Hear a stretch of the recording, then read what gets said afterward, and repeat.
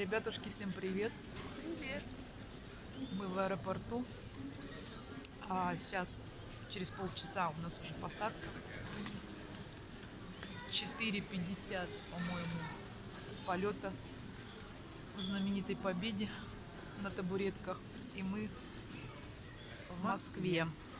Видео будут короткие, потому что с интернетом, видимо, проблемы. Лена не берет, не взяла свою мега э, флешку в виде компьютера, так что у нее тоже будет с телефона. Наш аэропорт. У меня плохо не переключается камера. Переключается. Нет, не переключается. А Лен. ты сейчас вот поставь на паузу и верни, и потом переключишь. Ну ладно, сейчас мы попробуем. всех переключается, Ларис, ты просто не знаешь как. Я просто не знаю как. Действительно. Так, в Москве мы побудем 3 часа. Пересадка будет 3 часа. Багаж не получаем. А, и летим уже 3.30 до Анталия. какая подушка. Парня подушка. Смотри, Смотри, какая. подушка. Из овчины, из Из. Из овечьей. Аэропорт в прошлом году был не такой. Ну, не такой, как. Тут, не было вот этого, по-моему, всего, да, Лена? Было-было. Вот сейчас вот, вот так вот, как это даже Без юрта стоит. Народу много или нет? Ну, по сравнению с, Ан- с Анталийским аэропортом, аэропортом немного. Так что вот, пожелайте нам удачи. Не засыпайте нас э, этими смс-ками, что там в масках, мы все это прекрасно знаем. Интернет тоже смотрим. Так что, так что так, до встречи в Москве. Так, мы чуть не укосоли пару, не упороли косу, а не укосоли пару. Чуть не опоздали на самолет. Мы сидели во внутренних в зале внутренних, ожиданий, внутренних рейсов, а нам нужно было в международных. Но мы же этого не знали. Объявляют и объявляют. Я думаю, ну почему только внутренних? Где за границу-то никто ничего?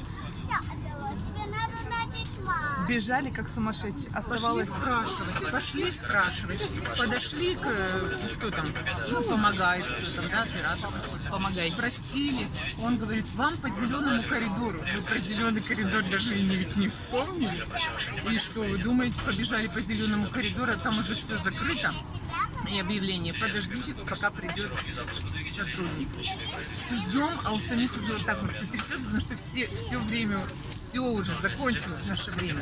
В общем, приходит женщина, не спеша так все. Я говорю, мы успеем, хоть она говорит, ну я не знаю. Не знаю, нет, меня Я не знаю. Быстрее. Она, правда, поторопилась. Я первая побежала, Лариса за мной. А я же ведь чуть в другую сторону не Да рванула. чё? Я уже Ну, я, рванула. я так поняла, что ты победишь в другую сторону, я вернулась. Я вернулась, и все, и тут Лариса припустила. Бежать а у меня далеко. шнурок развязался, как, назло. Мне бежать надо, а у меня шнурок развязался. Все Я мокрые. взяла шнурок и в два раза быстрее припустила. Ну что вы думаете, Лариса уже подбежала, а она на меня смотрит, что я тут тоже бегу, и говорит, 30 секунд у вас осталось. И я вообще тут, откуда скорость такая ведется? Короче, 30 все мокрые. и мы успели за эти Я вся мокрая. В самолете жарко, там Доброе жарко. утро, дамы и господа, мы рады приветствовать вас на борту. 10.50 должен вылетать самолет, сейчас 10.53. Ну, сейчас они экипажа. пока закроют. Сиденья. полностью Слушайте, победа, мы думали, что будет трэш. Нет, нормальные сиденья. Ну, смотри, на место Для ног такое же место, как в любых, да, как в любых других самолетах. Единственное, не откидывается спинка, и все. И все, больше ничего, никаких минусов здесь нет. Не кормят, Те это же классно. столики, да, те же столики, место для ног точно такое же. Единственное, вот мелки Ну, ну не скажу, что оно прям неудобно. Не, нормально, победа нормально.